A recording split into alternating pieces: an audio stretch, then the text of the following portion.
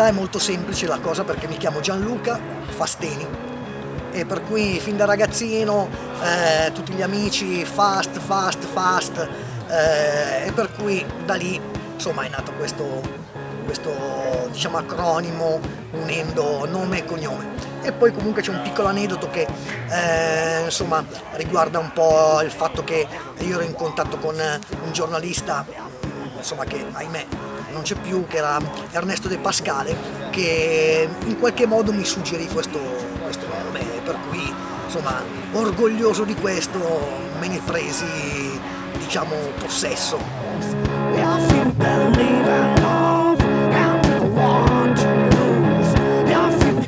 Bella domanda. Allora, eh, partiamo dal presupposto che sono veramente tanti, perché comunque eh, insomma, non ho mai amato avere un, eh, insomma, un punto eh, insomma, fisso. Diciamo che eh, partendo dal blues delle origini, per cui John Lee Hooker, Howlin' Wolf, questi personaggi qua, fino ad arrivare anche alle cose diciamo un po' più attuali, tipo anche Rage Against the Machine o cose anche più insomma, particolari tipo Tom Waits, insomma sono veramente tante chiaramente le, le influenze e comunque le, gli ascolti, per cui questi qua sono dei nomi buttati lì, però chiaramente c'è tanta brace nel fuoco, come si suol dire, insomma.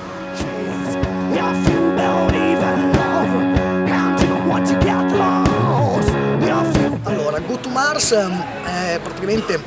un disco che è nato mentre comunque eh, facevo un sacco di date,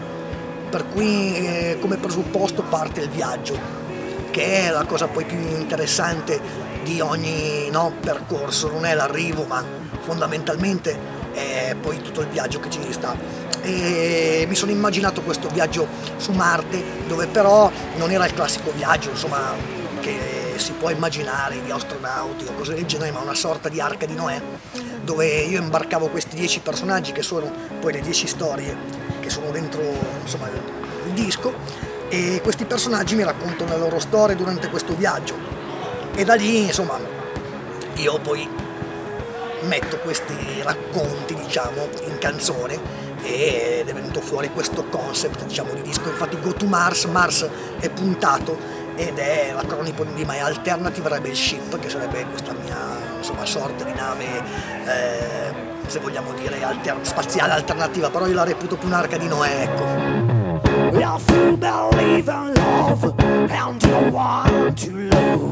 Bella domanda questa, e, e, sarebbe stato eh, bello saperla prima, però vabbè, eh, diciamo che insomma forse un Vinicio Capossela o comunque mh, mm, personaggi che eh, insomma fanno cose un po', un po', fuori dagli schemi, diciamo, un po' particolari. Eh, poi vabbè, magari se vogliamo scendere un po' più di, di nome, eh, insomma ci sono altre situazioni molto interessanti che potrei eh, citare, eh, tra i quali insomma i The Cyborgs, un gruppo romano eh, che fanno comunque boogie blues così interessante, ma anche probabilmente qualche altro woman band, no? Perché fondamentalmente sono quello.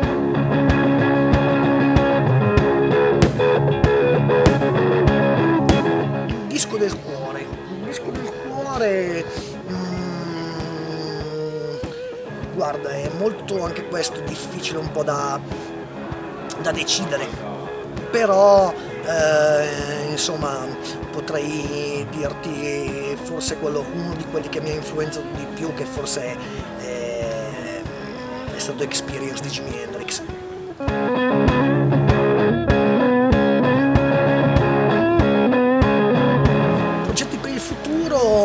sostanzialmente io ho fatto, sono al secondo album e mh, li ho scritti tutti e due in inglese, per cui il terzo album molto probabilmente eh, avvierò questa nuova sfida di provare a fare un disco in italiano. Questo è anche uno spunto tra l'altro altro, cioè, meglio di così. Però questo è il progetto per il futuro, andare avanti, far dischi, suonare live e, e cercare di insomma, arrivare a, se è possibile, a più gente possibile. Questo insomma, è un po' il, diciamo, il, il punto d'arrivo di tutti i musicisti e riuscirci chiaramente a, tra virgolette, sopravviverci.